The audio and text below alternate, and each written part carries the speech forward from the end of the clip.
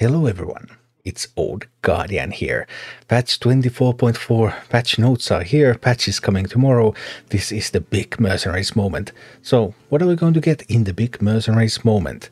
Mercenaries general updates. C'Thun can now be earned through all normal methods. Alright, if you missed the C'Thun event, now is your chance to finally get C'Thun. New keyword, charge. Characters with charge immediately attack a chosen target when summoned. This is like Rush, except that Rush characters attack a random enemy character, while charge lets you choose. So more control in things that are summoned and immediately attacking. And this change is retroactive in that several of the old mercenaries have been updated to use the charge mechanic. Spawn of N'Zoth now uses charge, Zar'jira's Wave Thrasher, C'Thun's Tentacles, Warmaster Voone's Evasive Worm, yeah that's a pretty big charger right there, King Krush's Devilsaur and Old Murk-Eye's Gigafin all now have charge. We're also getting a major quality of life improvement in that fixed a bug where players were sometimes unable to edit their party on mobile. Yes, you can actually build mercenaries parties on mobile phones again. Hooray! And we're also getting some bounties. It looks like the Japanese rumors were correct. 14 mercenaries were revealed today, and yes, we're getting exactly those 14 mercenaries, and we're also getting 19 bounties. One new zone, the Dark Moon Troop to mercenaries in a brand new zone, spanning 11 new bounties. We're also adding 5 new bounties to Felwood Zone and 3 more new bounties to Blackrock Mountain Zone. Blackrock Mountain has so many bounties already, and 3 more there. Okay, that's pretty interesting. And 5 new bounties to Felwood. That really makes me think like, are these going to be level 30 bounties? Do you have to go through those bounties in order to get to Winterspring? How does it all work? It doesn't say, but alright, 19 bounties are coming. We're also getting the 14 mercenaries that were revealed by the community.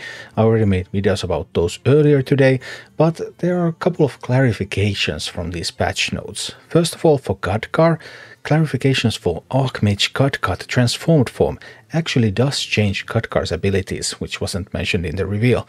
Prismatic Bolt deal 16 damage, gain plus 1 Fire, Frost and Arcane damage.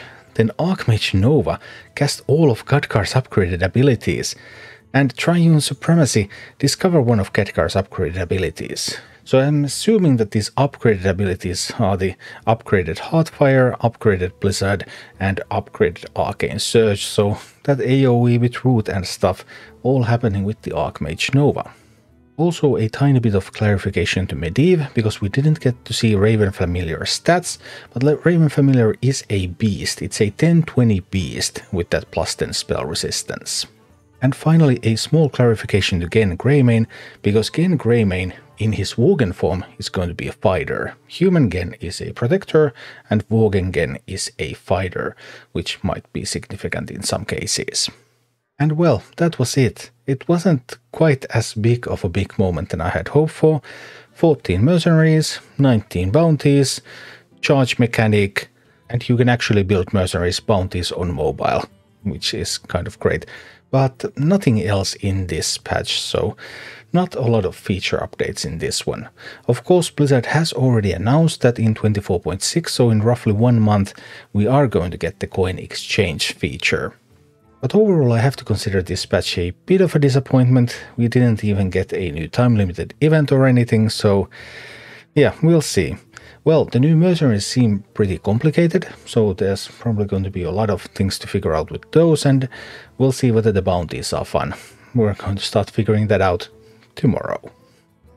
Thank you for watching. Click like and subscribe if you enjoyed this, and a special thanks to all of my Patreon supporters, YouTube members and Twitch subscribers who make all of these videos possible.